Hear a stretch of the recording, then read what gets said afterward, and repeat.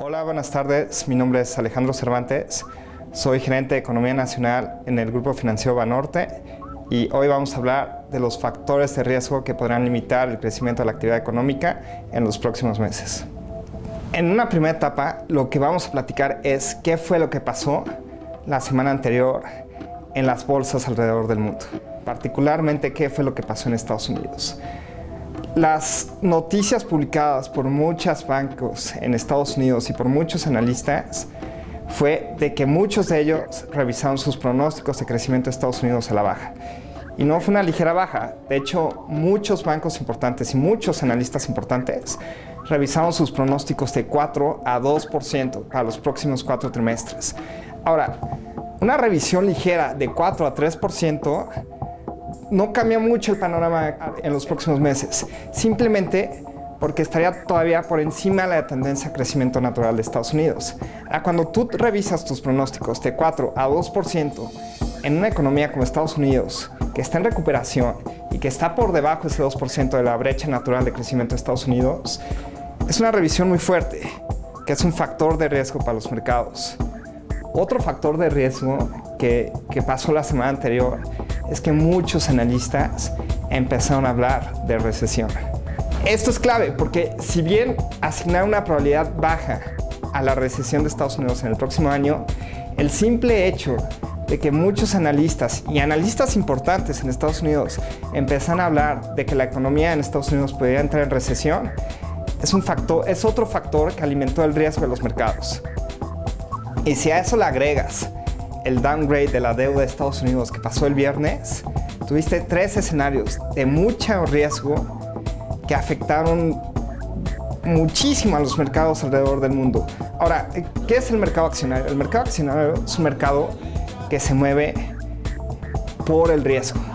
Si hay poco riesgo, hay mucha entrada de capitales, hay mucho riesgo, hay mucha salida de capitales. Entonces, eso fue lo que impactó a los mercados en la semana anterior. ¿Cómo se traduce este riesgo generalizado entre los analistas en Estados Unidos para el panorama actual de la actividad económica? En un primer momento, dado que va a haber desaceleración en Estados Unidos, nosotros estimamos que va a haber desaceleración en México. ¿Y cuál va a ser el canal por donde se va a dar esta desaceleración? Es simplemente la demanda externa. México, o una parte importante de la producción mexicana son manufacturas y el mayor demandante de estas manufacturas es Estados Unidos. De hecho, el 80% de nuestras exportaciones se van a Estados Unidos. Ahora, la revisión que hicieron todos los analistas en Estados Unidos, incluyendo nuestros analistas internacionales, implica que el consumo en Estados Unidos va a mostrar cierta debilidad en los próximos meses, en los próximos trimestres. Y eso implica que la demanda por productos manufactureros en Estados Unidos, productos manufactureros mexicanos en Estados Unidos, va a disminuir sustancialmente en los próximos meses. Entonces, por ese lado, vamos a ver una desaceleración de la actividad económica mexicana.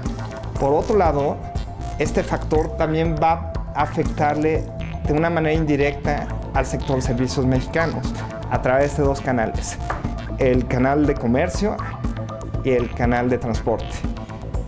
Un porcentaje importante de estos subsectores de servicios dependen mucho de la producción manufacturera mexicana. ¿Por qué? Porque todos los servicios relacionados al comercio dependen de la demanda externa en el sentido que son todos los servicios relacionados al comercio de manufacturas mexicanas. Entonces, si bien el 60% del consumo de las manufacturas mexicanas es aquí en México, el otro 40% es consumo en Estados Unidos.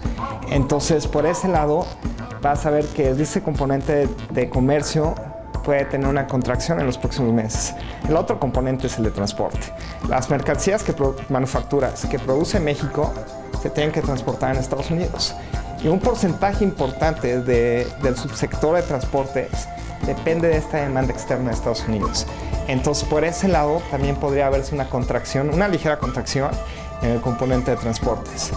Ahora, en 2012, dado que la economía norteamericana va a presentar una contracción, una fuerte contracción, más no recesión, eso va, a impactar de manera negativa a México. Ahora, existen factores positivos que pueden alimentar eh, el crecimiento económico de México en los próximos meses. ¿Y cuáles son estos factores positivos? El primero es la reducción de, deuda en Estados Unidos.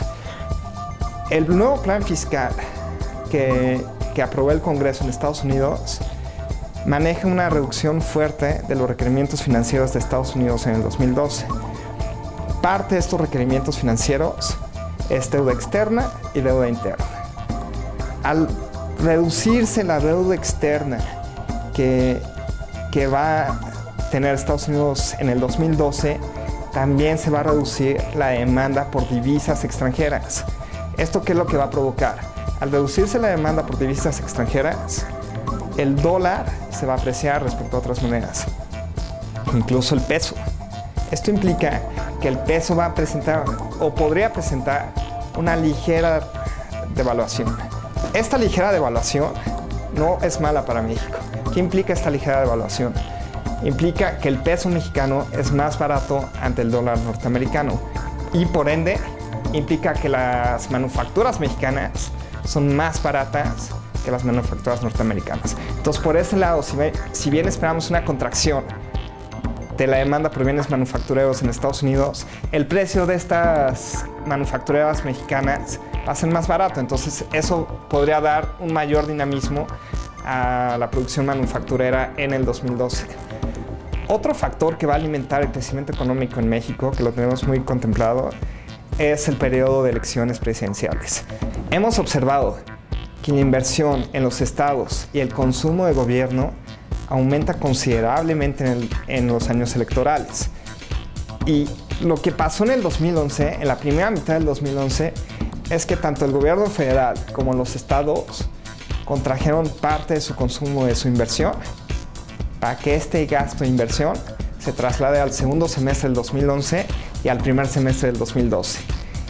Este incremento en el gasto gubernamental va a traer consecuencias muy positivas para el gasto agregado de México.